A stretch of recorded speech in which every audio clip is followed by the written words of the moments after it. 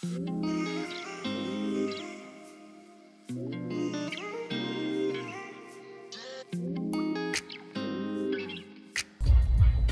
guys, how's it going? Um, just want to share something with you, something you could think about. Um, the Bible says it rains on the just and unjust. So what does that mean? Well, it means um, you serve God or not, it's going to rain on you. Storms are going to come your way. Life is going to hit you. So it doesn't matter if you serve God or not. But the difference is when you serve God, you have that insurance that everything's going to be all right. You know, because only God can give you peace of mind. You know, Jesus calmed the storm. Jesus could calm the storms on stuff that goes in your head. All the worrying, all the, the stuff that you think about.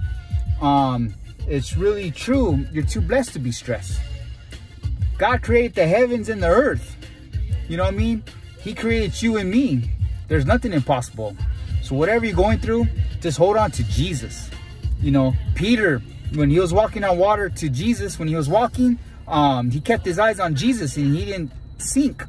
But the minute he got his eyes off of Jesus and started looking at the storm, he started to sink. So I want to let you know what you focus on is what you see. You know what I mean? So if you just see negative, you're going to feel negative. So today, just hold on to Jesus. Even the Bible says, when you did all that you can do, just stand. So you're praying, speaking positive, walking in faith, and nothing's changed. While the Bible says, just stand. When you did all that you could do, just stand. Why? Because Jesus shows up. You know what I mean? Lean on Jesus. Don't lean on your own understanding. You know what I mean?